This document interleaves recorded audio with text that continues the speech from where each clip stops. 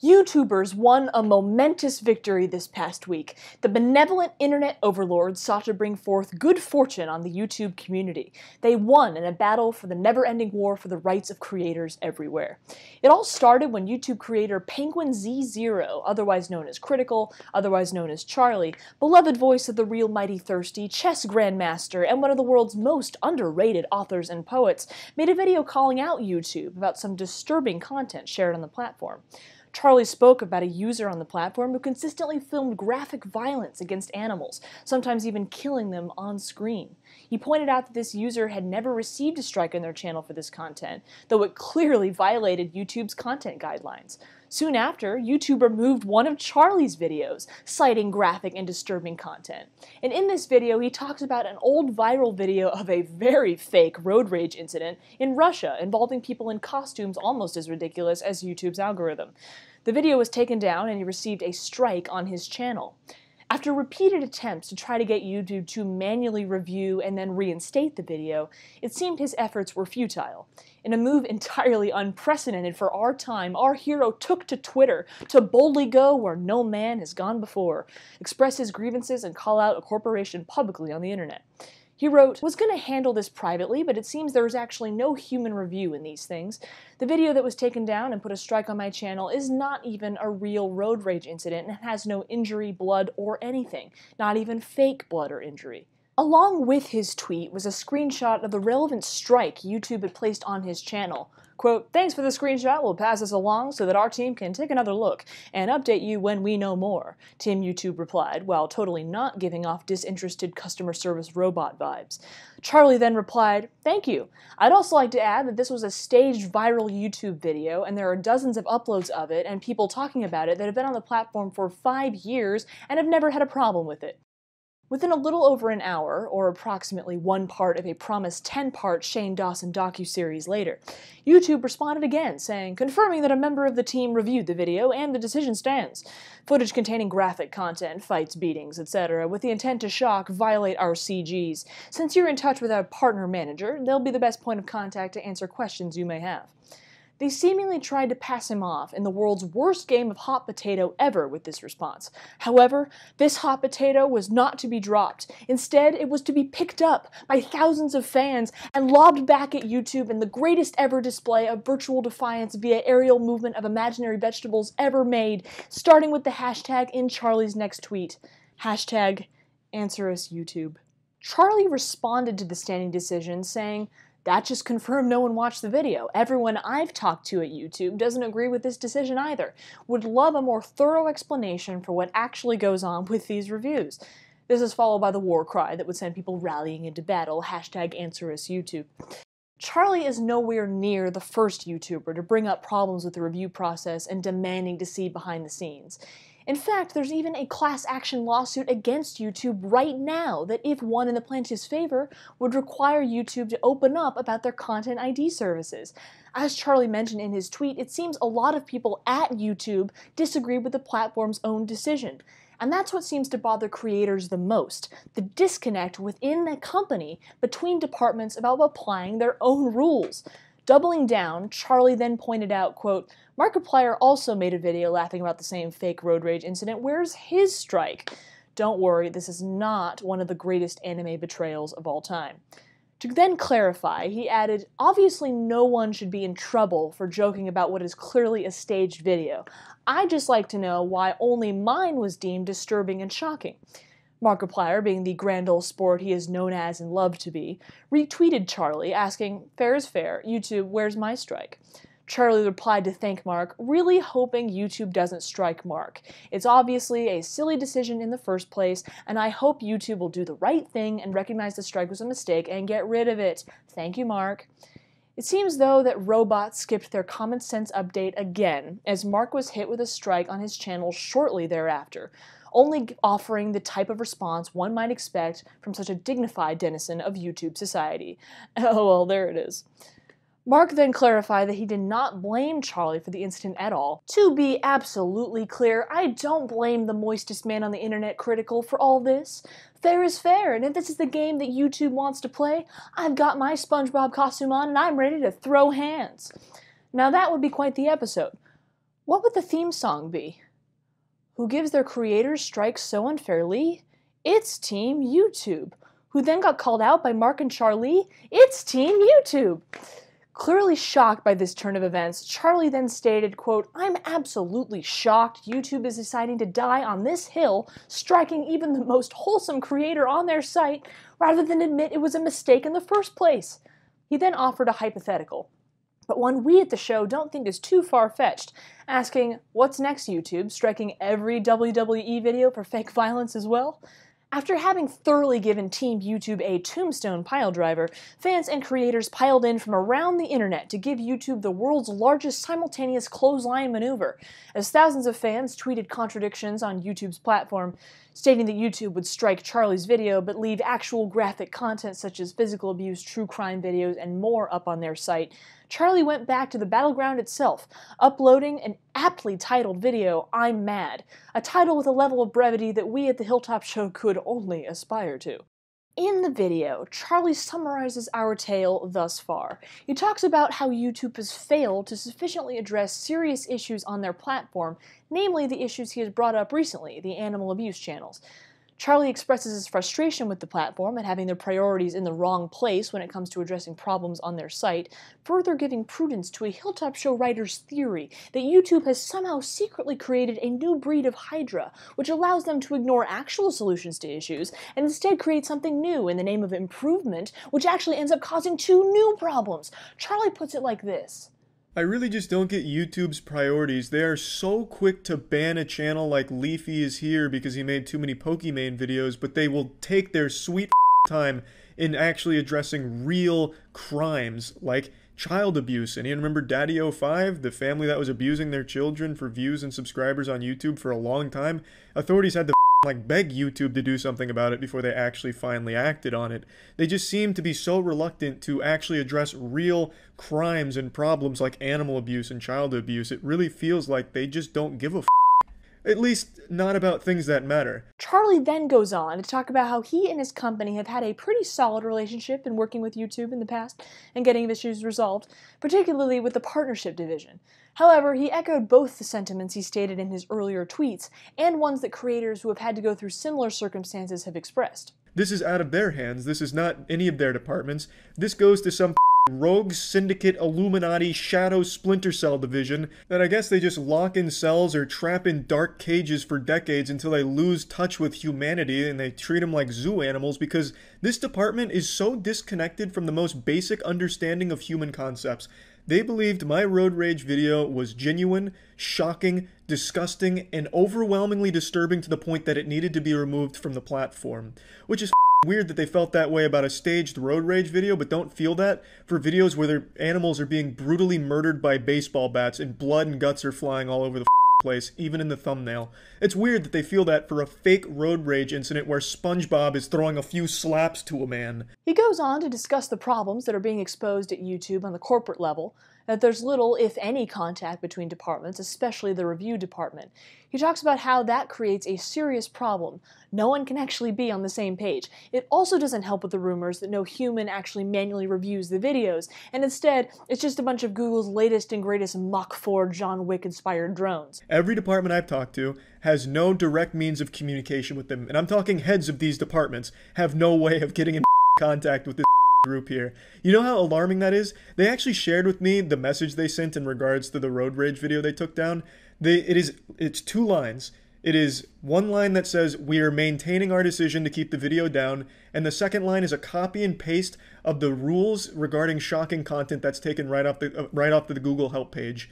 That's it. There's no conversation. There's no proof that a human being even wrote that email. It is literally looking like an automated reply. That is what they sent to a head of one of these departments who put tried to get in contact and fix this issue. Finally, Charlie adds that this video was recorded very soon after his first tweet, and he fully expected that by the time it went up for YouTube to have replied to him on Twitter saying he violated the rules and the decision stands. He was right, I, I guess we can possibly add Oracle onto his list of titles growing nearly as fast as his hair. He ends the video by talking about the hashtag AnswerUsYouTube and his hopes that if people rally around enough, perhaps YouTube will finally give them the answers they seek. The next day, Markiplier himself made a video on the situation, first talking about how he just received his first ever strike on his channel, and how it was also for violent and graphic content. Mark quickly describes the video similarly to Charlie, putting emphasis on the fact that he had reacted to it in a try not to laugh video, further showing that the graphic video was not in fact graphic, but instead comedic. Mark begins discussing his own frustrations toward the shadowy and extremely frustrating process behind the YouTube scenes that is apparently so top secret, not even his King of Five Nights at Freddy's status could get him access. And you can see for yourself how this video is not in any way actually violence. It's a joke, but not according to the manual review system. Who's making these calls? We don't know. Who's giving these answers? YouTube doesn't know. Who's talking to YouTube in YouTube that YouTube has to fight YouTube against or YouTube has to check YouTube with? Who knows? Much like Charlie, he discusses that the video itself getting taken down is not a problem, rather that it's the unclear and unfair practices behind the process that are setting bad precedents and damaging the platform with its inaccessibility. The problem is there's clearly an issue with improper application or at least uneven application of YouTube's community guidelines. And moreover, there's a communication issue at the heart of it all. Now, I want to be very clear. I'm not against the rules themselves. Those rules are there for a reason, and there is content that falls within those rules that should be taken down. Mark goes on to talk about how he agrees that the rules are there for good reason, and how everyone can agree that actual graphic content shouldn't be on the platform. After citing the massive amount of content uploaded to YouTube each day, he goes back to Charlie's point about the animal abuse channels still being up, mentioning that with this sheer amount of content, it would take an astronomical amount of people to work around the clock to review every video on the site for content violations. He brings all this up to make the point that YouTube doesn't have to do that because they have the viewer moderating system where videos can be flagged and reported by viewers for violating community guidelines. Thousands of people are watching these videos around the clock multiple times, and most times would be able to communicate to YouTube whether there are actually such violations. But again, the review department at YouTube has Jimmy Kimmel on loop in both ears, so they won't listen. Mark goes on to offer a very common sense solution. Let's say, for example, this clip was actually bad, which it's not, but let's just say, for example, you know what they could have done to handle it? They could have reached out. They could have just talked to us. They could have asked us to take it down. I'd like to think that we have a good reputation. You know, if a channel is actually in good standing with no strikes, why can't they ask us to do it for them? Why not ask us to self moderate? I, I, don't know if you know this, but YouTube actually has a feature where you can go into any video that you've already uploaded, even if it's public, and you can go out and you can trim out sections of the video anytime. And you'll save it, and then, like, within a few hours, it'll reprocess it, and everyone will never see that part again and many people won't even know that it was gone. So if you have someone in good standing, why not ask them to cut out the things that are a problem? If the whole video is not the issue, and it's only a small clip of them, why not talk to the creators? And if they don't do it, or if they don't make a good enough case for an appeal, then use your own tools that you have and do it for them. And then give them a strike do it then. You know what I mean? Be like, all right, you got to take care of this, or it's a problem, or we're gonna give you a strike. And I can be like, look, it's not. I'll make my case. Here it is. Here's my case. And if I'm actually having communication with someone, and someone comes back to me and is like, look, I get it. I get it, but it, we can't take the risk. In some circles, maybe someone might assume that it is, and they might get hurt or offended by it. And I'm like, all right, fine, fine, I'll do it, you know? But at least the whole video isn't down. I'll just trim out that part, and they're like, okay, that's good. Thank you. That we, we reached a middle ground. Mark clarifies that he knows there are people at YouTube who do care, including his contact, but the massive problem is that those people who do care are having to constantly fight for the creators. And fight against who, you may ask? No one knows. For all we know, YouTube's employees could be battling it out with the costume road ragers in the video. We were worried about possibly getting a strike of our own by including this clip, but if we do, awesome. We can add YouTube to our ever growing list of adversaries. Mark ends the video by simply asking YouTube to remove the strikes, reinstate the videos, and to simply trust in their site's community a bit more, taking their criticisms seriously and reviewing the actual harmful content that has been called out. Interestingly enough, around 40 minutes after Mark uploaded that video, YouTube put out a statement on Twitter to Charlie, Update, we're not going to die on this hill. You were right, after even further review. Your video and others are back up, and these strikes have been removed. This was an over enforcement of our policies, especially with the added context and commentary, as you originally pointed out. YouTube rarely ever admits to being in the wrong, let alone saying you were right. Whoa! This is epic! But the fact that it took such a monumental uprising for such a small problem reveals larger issues still at play. YouTube commentator Mr. GG responded. This is great and all, but it took Critikal, Markiplier, and dozens of other large YouTubers speaking out to get an even further review, aka someone took the time out of their busy day to just actually watch the four and a half minute video. I'll be honest, that sucks. YouTube tweeted back at Mark saying, This is definitely not the game we want to play. We're so sorry for the confusion and frustration here. Your video and others are back up, and the associated strikes have been removed. Mark and Charlie both tweeted their thanks to YouTube for resolving the issue and hoping for a better working relationship in the future. Mark said, I appreciate the reinstatement and apology. I'm willing to accept that mistakes can happen and hope we can work together to minimize the chance that it'll happen in the future. I'll take the SpongeBob costume off for now. Charlie said, Absolutely fantastic news. I think we're all thankful to hear you were willing to go back and reevaluate the decision. It means a lot to creators to see that. Hopefully, we can all have more open dialogue when it comes to things like this in the future. Thank you. Then Charlie, shining in the afterglow of this victory, like Aragorn in The Return of the King, made a final video entitled We Won a Battle. In it, he recaps the situation so far, leading up to YouTube overturning the decision. Charlie reiterates the point brought up by both he, Markiplier, and many other creators over the years. YouTube needs to fight their own internal demons. The rampant transparency and communication issues between not only creators in the company, but departments within the platform shows they have not yet reached the main arc of their manga. Markiplier also brings light to another issue where he mentions his partner manager has to fight for him at YouTube's headquarters to get things like this handled. And that's a big problem that there has to be a fight for creators. How everyone's not on the same page, so people have to fight with each other to get things working the right way. I mentioned something similar how my contacts at YouTube, like Dominic, are absolutely wonderful. But they have to like step into the Thunderdome like it's the Coliseum and fight for their lives to get these things handled and fight for the creators. That's a problem that YouTube has to have this kind of internal fight to get things going because not everyone's on the same page. Charlie ends the video once again thanking everyone for their support, especially Markiplier, YouTube for their reversal and his wishes that this incident can lead to positive change in the pinned comments. Obviously, there is still a lot that YouTube has to address, but I think it's important to recognize the impact of winning this albeit small battle. YouTube rarely listens to the community when it comes to decisions they make internally, and the fact that we were able to get them to listen this time is absolutely huge. Hopefully, the next step will be them addressing the numerous other problems that have been brought up recently and act on them. While we at the Hilltop Show agree, we can't help but wonder what the next steps will be for YouTube. Running a platform ourselves, though admittedly not as big, yet. We are constantly having conversations about how to improve, as any organization without socks in their ears should do. We hope to see some real change at YouTube, not only in the way they conduct YouTube rewinds, but their interactions with the community as a whole. So, Say that you aren't a YouTuber, and the only time you interact with YouTube is to watch Adele clips and Crash Course World History videos.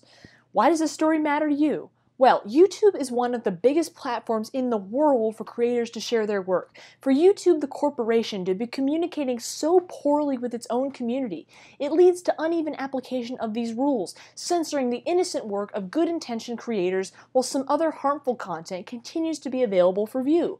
As Markiplier pointed out, YouTube has the community tools of manual reporting to prevent this. They just need to start listening. This story is of interest to anyone who uses the internet for any purpose. Unjust censorship and the mass dissemination of videos depicting inhumane acts of violence are the consequences of this. YouTube not communicating clearly with its users normalizes that disorganization and censorship, and other platforms across the internet may follow suit. Also, we totally understand that what we are asking of YouTube here is an enormous task. Markiplier put it best in the video we mentioned earlier. I should put in perspective just how big YouTube actually is. Some of you may already know this, but um, it's it's something like, as of May of 2019, YouTube gets approximately 500 hours of video uploaded every single minute. If you thought I was going to say hour or day, you were dead wrong. Minute. That turns into 30,000 hours of content per hour. 720,000 hours per day, which is 82 years of content every day. And in that content is obviously going to be some pretty messed up which is why YouTube has this community guidelines in the first place, and which is why we are all agreeing that that should be taken down. Anything that actually falls within the rules should be. But it's not. So we think that with this piece, we've put forward both sides of the issue here. YouTube has a lot of content to sift through, but creators don't want stuff that doesn't deserve to be taken down to be taken down. Catch y'all later. Bye bye! Well, YouTube is one of the biggest platforms in the world for creators to share their work. For YouTube, the corporation, to be inter. Bleh, bleh.